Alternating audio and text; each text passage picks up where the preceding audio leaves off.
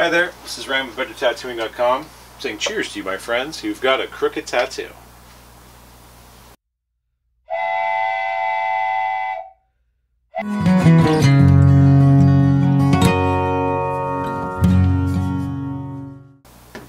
Alright, now that's done.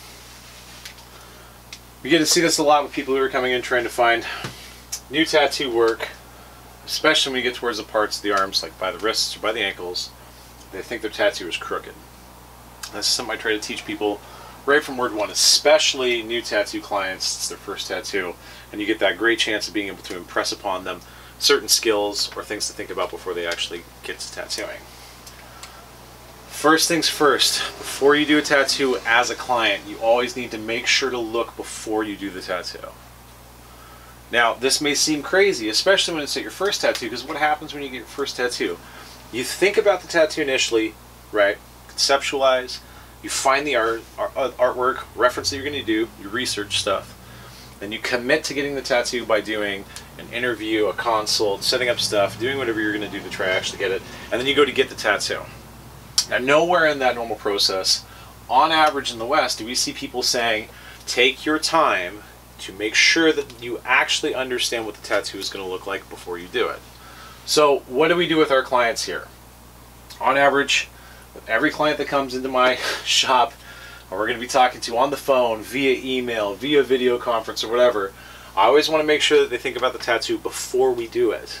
Why do we do that? Because I want them to understand what stresses are going to be implied, applied to the tattoo before we do it, right?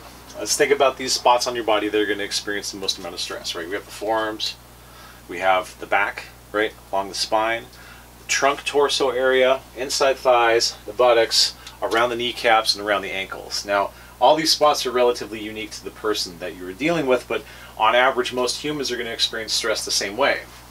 We get three types of stress, right? The first to be torsional,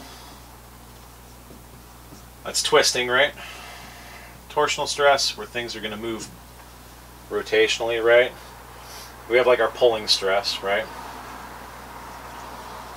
Pulling. Now this is where things are going to stretch, right? They're going to move. They're going to stretch. And then we have compressive stress. Uh, stress. Yeah, I know I didn't spell it right, or whatever. Compressive stress is going to be when things move together. So on each part of the body, you're going to get a different type of stress, right? Torsional stress is usually going to happen around like the wrist, usually median line on the forearm down, where you can see like if you twist and turn, this amount of skin is going to end up moving more than others.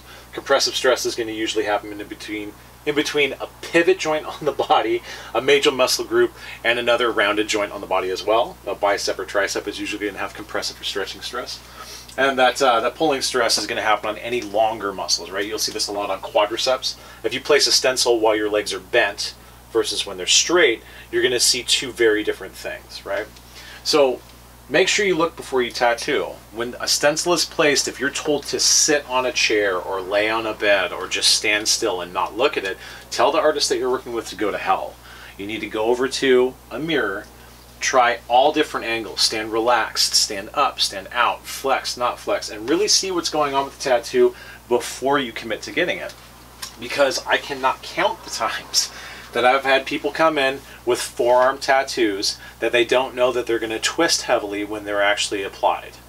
The tattooer, so I've been told, will have somebody's arm out on an armrest, they'll place the stencil, they'll do it, it looks great, and then they twist their arm and it moves up their arm and it looks crooked.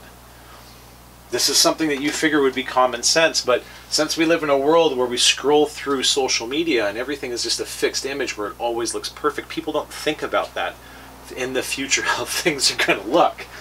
So if you're a tattooer, take the time, right? Like make sure you could take it a million times to place a stencil. And as soon as it's perfect and the client's happy with it, that's when you should do it. It may be a waste of your time. These people are going to be getting something that is permanent. It's going to last their lifetime. An extra 10 minutes to check on something to make sure that it's perfect is worthwhile. You can check your torsional, the pulling. I know that's not the right type of stress. Eat me. Or compressive stresses are going to be applied to the body, and how they're going to affect the tattoo is going to be worth it. Just take the time. Slow down. You're still going to make that Skrilla. You're going to be okay. All right? If you're going paycheck to paycheck, set up a savings account. you'll be all right. Make sure you don't use your clients. Clients, make sure that you speak your voice. Be empowered when you go into these places. Now, one last thing before we get into this is if you are a client and you do not want to get into a confrontational space where you're forced to stand up for yourself just because it's not going to be, it's not possible where you live. Maybe the tattoo shops where you're at, the guys or girls or people or whatever, maybe they're all just fucking assholes. That can happen sometimes. Then you need to be empowered to do something yourself.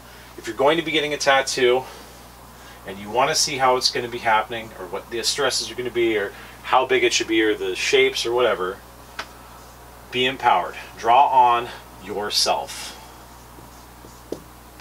Simple. Grab a Bic pen, grab a Sharpie marker, make sure you're not allergic to them. Please don't just like go out and blindly do anything that somebody says on YouTube. Make some marks. Draw a line. Take your arm, draw a straight line on your arm, and twist it. I'm thinking about getting a tattoo here. Think about it. Do that. Twist it. Go to a mirror. Wear it. I'm going to get a couple flowers and a snake. Cool. I'll have a flower, flower. I'll draw a line for a snake. And I want to go and see it in front of the mirror. Take action. Take control of your body and take control of the experience. Like, be proactive. Perhaps the tattooer that you're working with isn't going to be thinking about these things. Perhaps they're too busy. Perhaps they're having a bad day because they're friggin' human. It doesn't matter. If you're paying someone to get this done, you got to expect the worst. Draw on yourself, be prepared to look before you tattoo, and think before you ink. I hate that saying. Anyways, this is Ryan from BetterTattooing.com signing off.